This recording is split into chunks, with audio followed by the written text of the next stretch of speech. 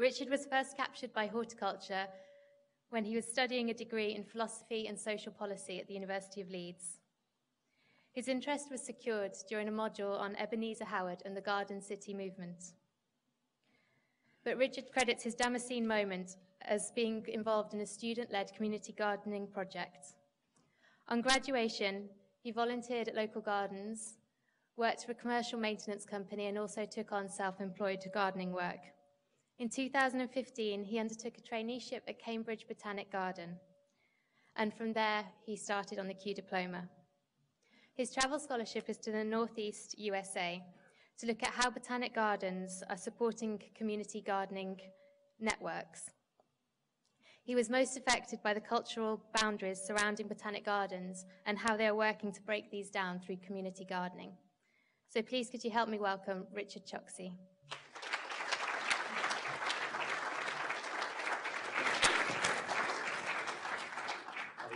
Use this. Can everybody hear me? Yep, good. Thank you, Faye, for that introduction. Uh, word of warning, I haven't yet been through this talk in total, so if I overrun, apologies. If I underrun, that's your good fortune.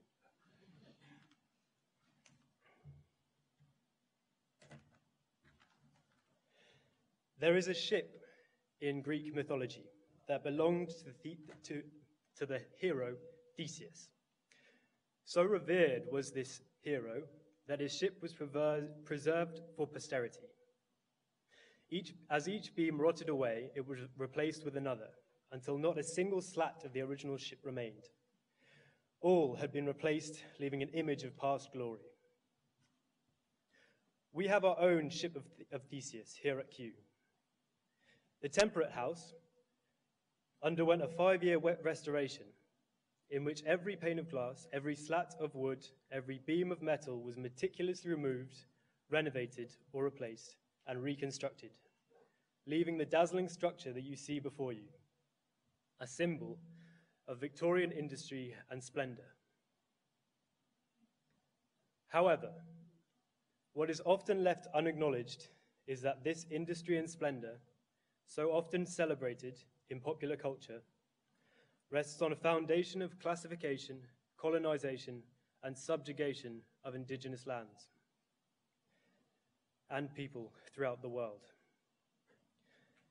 This evening, I would like to take you on a journey to perform at what at, to perform what people excuse me to perform what will be at times an uncomfortable inquiry into the colonial legacy of botanic gardens. My intention is not to list a litany of shame, but to make what is familiar to people of color that engage with this institution visible to those unaffected by race. I will then present ways in which this legacy has been sublimate, sublimated in botanic gardens in the northeastern United States. In the interests of full disclosure, through my ancestry on my father's side, I am connected to the origins of European imperialism in Achaemenid Persia, so my relationship with this subject is by no means uncomplicated. There will be time for questions at the end, but I request that they are kept until then. I would like to start with this man, Joseph Banks. He is rightly revered as one of the founding figures in the history of Kew. He used his familiarity with King George III to advocate for dispatching Kew trained botanists throughout the world to collect plants for the collection and, promote the, and promoted the use of science and botany in the governance of lands both at home and abroad. However, his association with the imperial project is not unblemished. Many of you will be familiar with Captain Bligh's ill-fated voyage on the Bounty. This voyage was commissioned by Banks to bring breadfruit to the Caribbean. Richard Drayton, a historian of empire and of Kew at Imperial College London, argues that this endeavour was precipitated by the, the quote, unprofitability, unquote, of the West Indian slave economy. And in this way, Banks sought to bolster this important source of revenue. Elsewhere, he was an early exponent of what would later become known as the white man's burden. The notion that the subjugation of people worldwide was justified by the inherent virtue of Western civilization. Of the Bengalis, he said, quote, the latest posterity will wonder how their ante- ancestors were able to exist without them and revere the names of their British conquerors to whom they will be indebted for the abolition of famine. It is a cruel irony that famine would be, in fact, one of the, the defining features of British rule in India.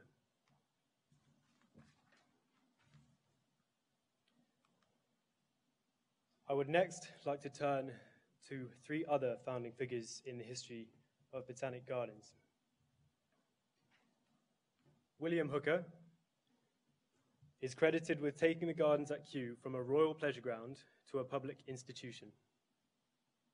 At the heart of this transition was the promise that Kew could orchestrate a global network of botanic gardens in service to the empire, based on the recommendations of a report by John Lindley, published in 1840.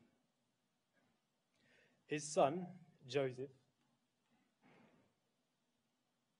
Joseph, famous, famously spent his younger days enjoying the botanical riches to be discovered in the colonies and went on to direct this customs house of British imperialism. Charles Darwin is perhaps most emblematic of the problem, problematic relationship that institutions of classification have with colonization. He is remembered pri- primarily as a great naturalist, but his theory of evolution by natural selection was co opted to justify white supremacy. To quote Darwin himself, writing The Descent of Man At some future period, not very distant as, measured, as measured but by, but by centuries, the civilized races of man will almost certainly exterminate and replace the savage races throughout the world. As the same, at the same time, the anthropomorphous apes will no doubt be exterminated.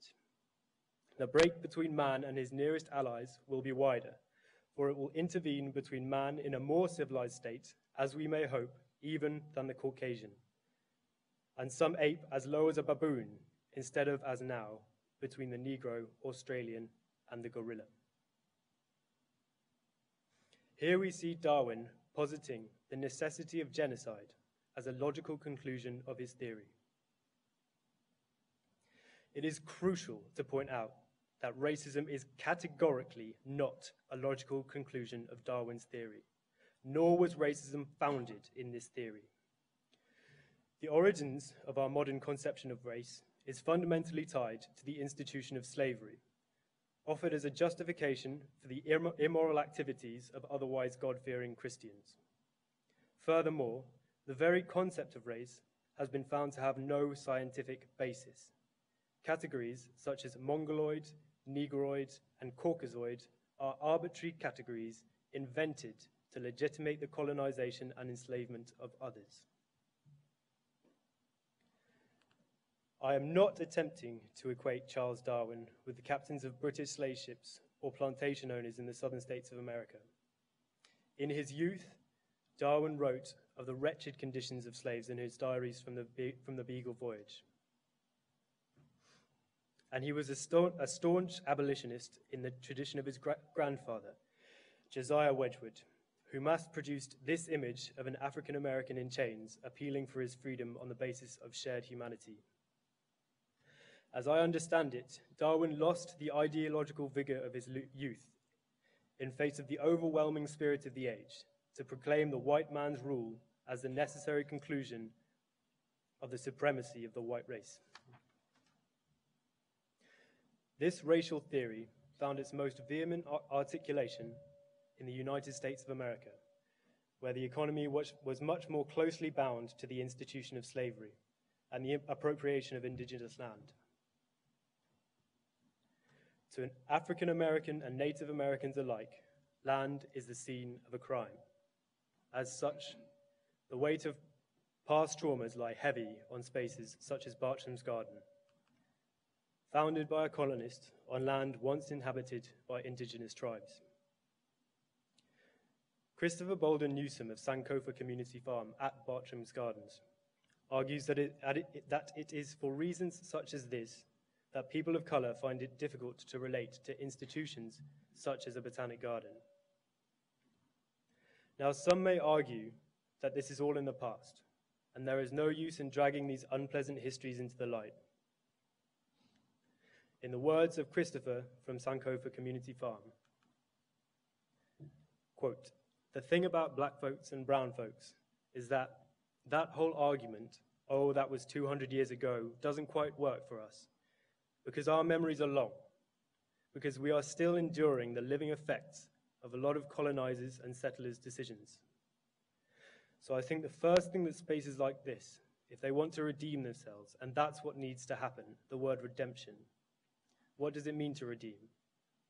It means to sort of give a new value to, to make anew in terms, to give it a fresh value, to give it a purpose and a new meaning.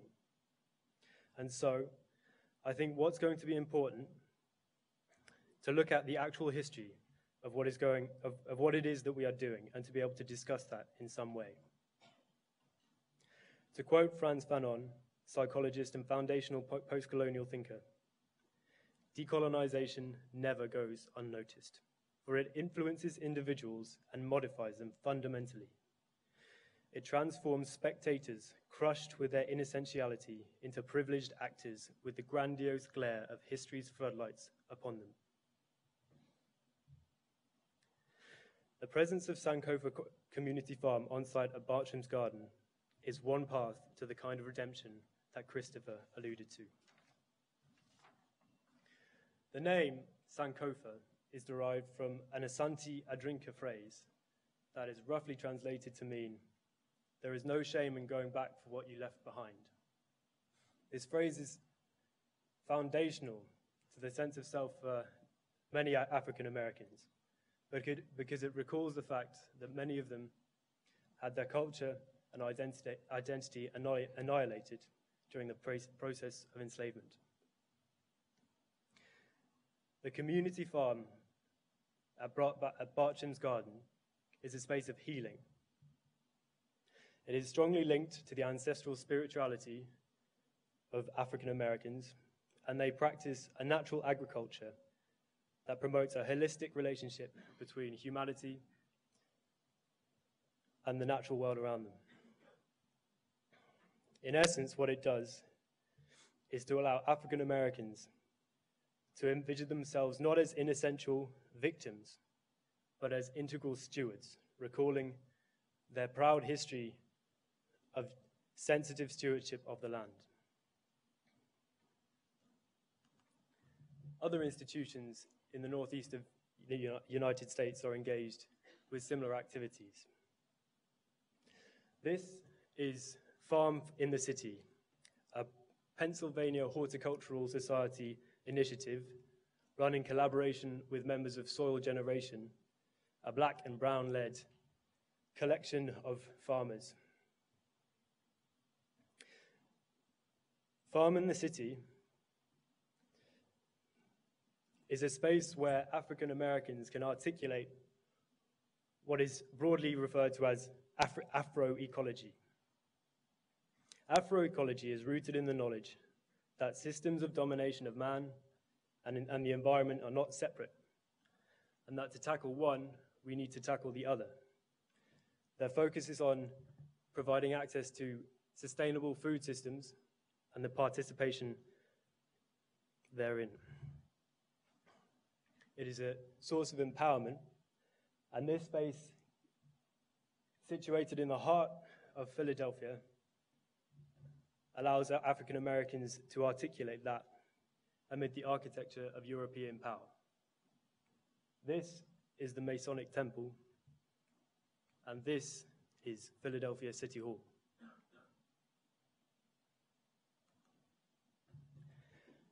Various other institutions are involved in similar activities. This photo is taken from a, a report written by the BGCI entitled Caring for Your Community, a Manual for Botanic Gardens. Pictured is a, an urban farming initiative operated in collaboration with the Chicago Botanic Garden and their community outreach program, the Windy City Harvest. Windy City Harvest aims to empower African Americans, particularly African Americans in impo impoverished communities. Actually, I should, I should say the Windy City Harvest program aims to empower those who are economically disadvantaged, but there is a close correlation between dis economic disadvantage and African American um, and the African American experience. Other organizations also involved in this kind of work are Brooklyn Botanic Garden and New York Botanic Garden. My trip was conceived as part of a, of a research project for a dissertation entitled How Can Botanic Gardens Support Networks of Community Gardening?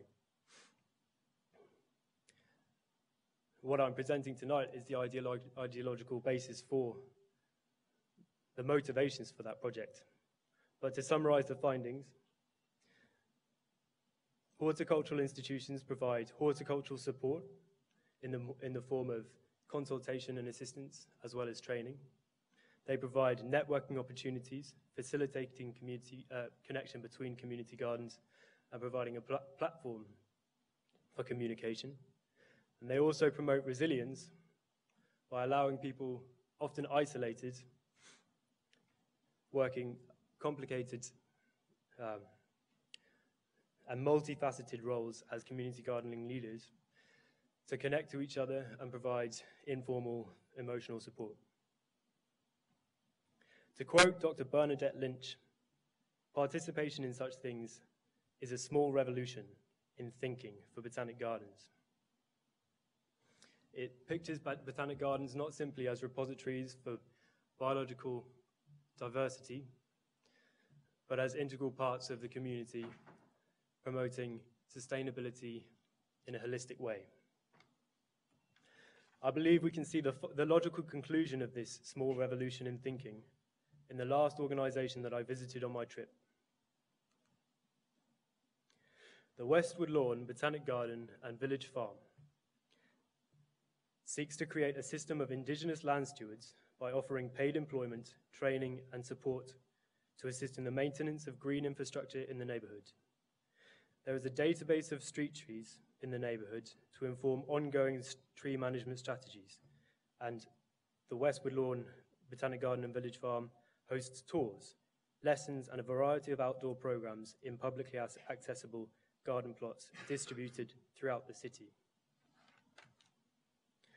For me, what was most striking is that the Botanic Garden and the community have no boundary between them. Instead, the Botanic Garden is a framework through which their members can gain a deeper connection to the green space in their neighborhood. Ultimately, the West Woodlawn Botanic Garden and Village Farm challenges the duality of humanity and nature, where the needs of one can only be served by impinging on the needs of the other. Instead, it is constructing a flourish, flourishing community that emerges from an ecologically diverse and resilient environment. This captures the essence of that small revolution in thinking, which so, in botanic gardens, which so often work to conserve pockets of nature from the ravages of economic ex exploitation.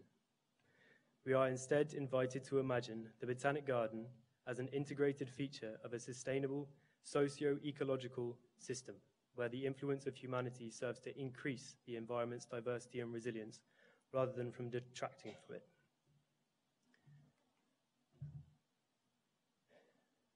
For those interested in pursuing this topic further, I have some suggestions for further reading.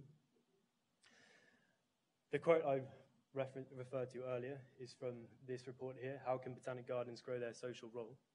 It's a fascinating documentary that goes in depth into how the, the role of a botanic garden can be reframed.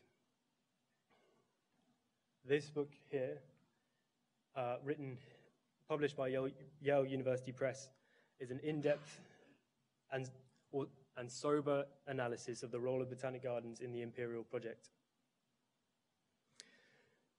finally, this book, The Brother Gardeners by Andrea Wulf, is a lighter introduction to the topic, but does faithfully reproduce some of the uh, cultural assumptions guiding the, the project of colonization.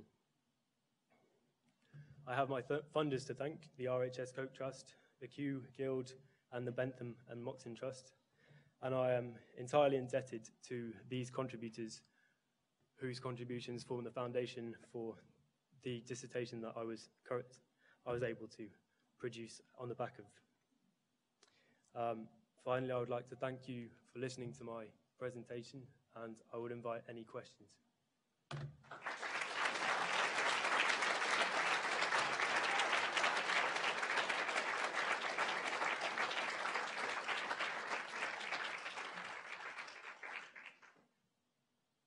Um, do you have any examples of how you or other organisations in London or the UK are sort of addressing this issue?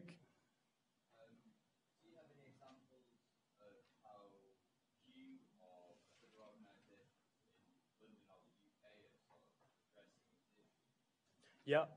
Um, I should say, say that the modern botanic garden is unrecognisable from the institutions that I described in the first section of the talk. And Kew is currently working to promote community gardening on site with dedicated space down by the Lion Gate.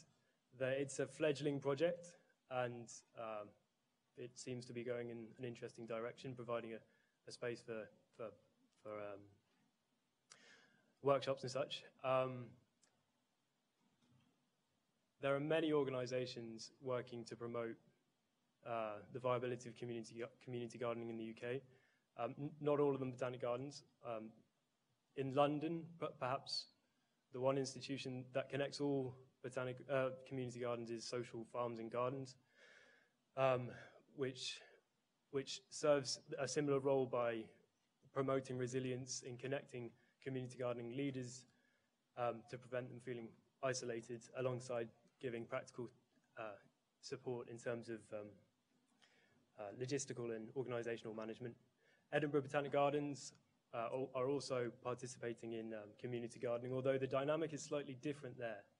Um, in Edinburgh, barriers to participation are mostly oriented around class, um, and they have found that whilst you can you can give you can you can show people the door quite easily, but it takes a lot of emotional investment and trust building to build people, build the confidence in people to, en to enable, enable them to walk through that door. And um, a lot of the work that's currently going on is trying to work out how to build that relationship and build that trust. Uh, and I think um, Chris's words about looking into what our institutions are doing and the cultural associations that they imply, that that's an integral part of that process. Amber.